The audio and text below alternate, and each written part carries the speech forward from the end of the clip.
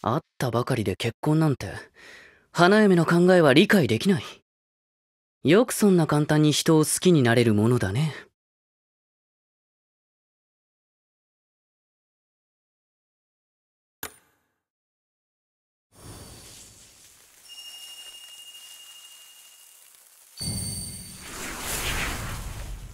理想の相手か。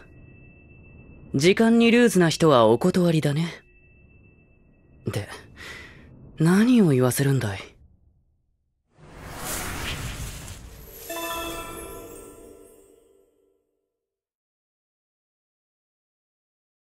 ハーツラビルの長として、花嫁に誠実なプロポーズをするよ。ハートの女王は、夫婦仲がとても良かったらしい。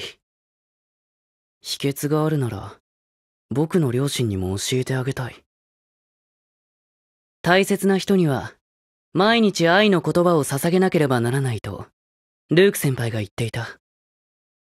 大変なんだな。なんだい？人の顔をじっと見て。いつもと雰囲気が違う？ああ、髪を耳にかけているからかな。花嫁の理想の王子様の条件は、外見に偏りすぎじゃないかな。僕は中身の方が大切だと思うけど。フラワーホールに飾ったバラは、寮の庭に咲いていたものなんだ。ほら、いい香りがするだろ？ポムフィオーレのエペル。見た目の割に芯のある男のようだ。つい、応援したくなるね。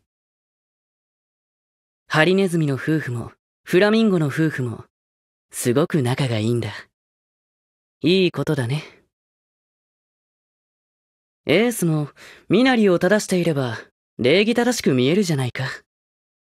いつもああしていればいいんだ。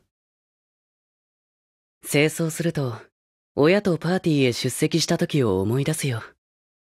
並んでいたケーキが、とても美味しそうだった。わどうして上着をまくろうとするんだアルバートのチャームが気になるスート型だよ。清掃を必要とされる場での振る舞いには自信がある。君にもエスコートの仕方を教えようか？